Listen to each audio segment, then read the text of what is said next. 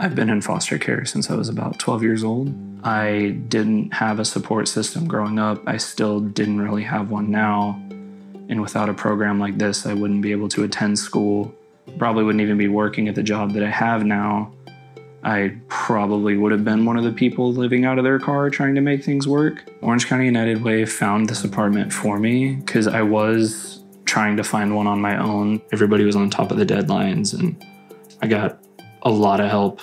I, I was not left in the dark at all. My, my, favorite memory for the place had to be when I first walked in. Just, I, I felt I was tired from all the moving, but I felt happy and excited that I had a nice place. And it was kind of weird. I felt oddly calm, and I haven't felt that level of calm in a long time. And then I set everything up and I played some games for a little bit.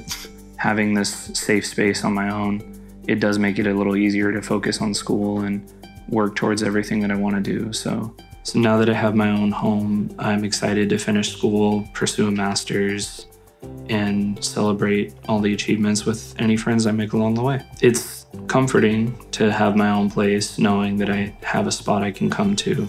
But it's my own little safe haven. I'm happy I have it.